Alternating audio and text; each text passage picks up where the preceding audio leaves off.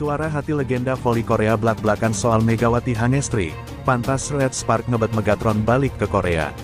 Salah satu legenda voli putri Korea, Han Yomi memberikan komentar jujur soal Megawati Hangestri yang tampil sangat impresif musim lalu dengan klub Daejeon Red Spark di Liga Voli Korea. Kita tahu kalau Megawati Hangestri tampil gemilang pada musim pertamanya bermain di Liga Voli Korea. Bersama dengan Giovanni Milana dan Lee Soyang, Megawati Hangestri jadi mesin pencetak angka untuk Red Spark. Musim lalu juga, Megawati Hangestri sukses membantu Red Spark melaju ke babak playoff setelah mengakhiri musim di peringkat 3 kalsemen. Secara individu Megawati Hangestri berhasil mengumpulkan total 736 poin selama musim lalu. Angka tersebut membuat dirinya berada di peringkat ketujuh pada daftar top skor Liga Voli Korea musim lalu. Catatan gemilang dari pemain berjuluk Megatron itu pun mendapatkan pujian dari berbagai pihak. Salah satunya legenda voli Korea, Han Yomi yang memuji skill yang ditunjukkan Megawati selama berkarir di Korea. Menurutnya Red Spark musim lalu memiliki dua pemain asing yang dapat diandalkan dengan baik. Mega dan dia berhasil mengeluarkan kemampuan terbaik mereka ditambah dengan kembalinya Lee So yang di pertengahan musim membuat Red Spark semakin solid. Red Spark punya dua pemain yang dapat diandalkan, Mega dan Gia mampu menunjukkan kekuatan mereka. Lalu Lee So Yang di akhir bisa bermain bagus, tambahnya. Yomi juga sempat mengomentari teknik smash tipuan dari Mega saat Red Spark dihadapkan pada poin-poin genting.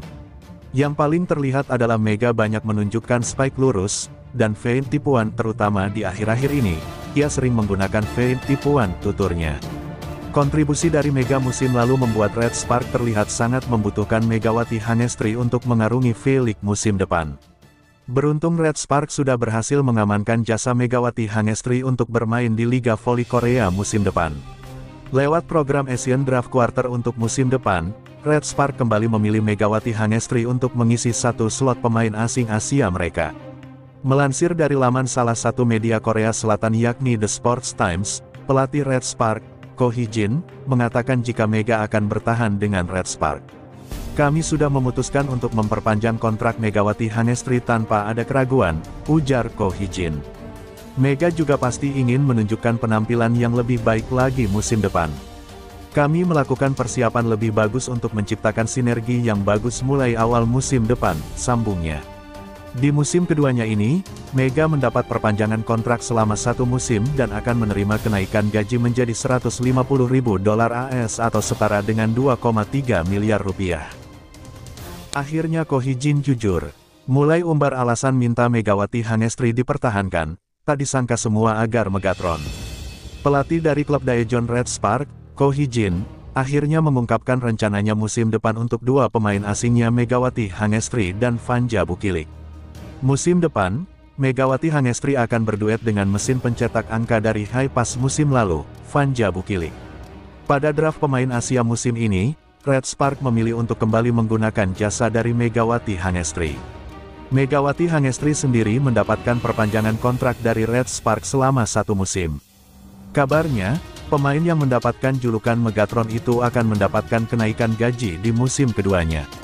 Sebelumnya, pada musim lalu yang merupakan tahun pertama Mega bermain di Korea dirinya mendapat 100 ribu dolar AS. Kini, Mega akan mendapatkan gaji yang cukup signifikan di musim keduanya ini. Ia akan mendapatkan gaji 150 ribu dolar AS atau setara dengan 2,3 miliar rupiah. Namun satu hal yang menjadi pertanyaan dari para fans Mega dan Red Spark adalah keputusan Ko Hee Jin yang memilih Vanja Bukilik sebagai tandem baru Mega. Meski Vanja tampil sangat hebat musim lalu dengan high pass di mana ia mengoleksi 935 poin sepanjang Liga Voli Korea musim lalu, namun Mega dan Vanaja bermain di posisi yang sama. Mega dan Vanja merupakan pemain yang berposisi sebagai opposite hitter dan membuat Red Spark memiliki dua pemain asing di posisi sama. Hal itu membuat banyak penggemar bertanya-tanya siapa pemain yang akan dikorbankan untuk menggeser posisinya ke outside hitter mengisi pos yang ditinggalkan Giovanni Milana. Teka-teki itu pun akhirnya terjawab setelah Ko Hee Jin akhirnya mengungkap rencananya musim depan soal dua pemain asing di Red Spark. Sebelum pemilihan Vanja pada draft pemain asing KOVO, Ko Hee Jin memberikan pernyataan jika Mega yang musim lalu bermain di posisi opposite hitter sudah sangat jauh melebihi ekspektasi. Bahkan saat bermain di posisi itu kemampuan bertahan dari Mega pun sedikit demi sedikit bertambah. Hal itu membuatnya yakin jika Mega lebih cocok untuk digeser ke posisi outside hitter yang membutuhkan kemampuan menyerang dan bertahan seimbang. Bukan hanya itu, Ko Hee-jin juga melakukan hal itu demi cita-cita Mega yang ingin melanjutkan karir ke Eropa. Untuk ukuran pemain dengan tinggi 185 cm Mega di Asia masih memenuhi syarat sebagai OP opposite hitter. Termasuk di Liga Jepang Mega nilainya sangat tinggi kalau dia mau menjadi seorang O outside hitter, kata Ko Hee-jin. Akmal Gani, saya bertanggung jawab juga memikirkan karir Mega ke depan. Selama di Red Spark Mega akan saya latih lebih keras untuk menjadi pemain kelas dunia, lanjutnya. Saat ini Megawati Hangestri masih bermain di Proliga Indonesia dengan Jakarta Bin di mana setelah berakhirnya kompetisi dirinya akan langsung bergabung dengan rekan-rekannya di Korea. Menanti kombinasi Megawati Hangestri Vanja Bukilik di Red Spark 2024, posisi sama, bisa main bareng. Saya datang ke Triout, melihat skill keseluruhan para pemain, dan mempertimbangkan memberi kontrak kepada Bukilik. Saat datang, saya lihat tak ada pemain yang lebih baik dari Bukilik. Saya rasa tak masuk akal melewatkan pemain bagus, ungkap Ko Jin soal proses seleksi yang digelar di Dubai, Uni Emirat Arab, pekan lalu itu. Tadinya, saya lebih dulu memikirkan outside hitter.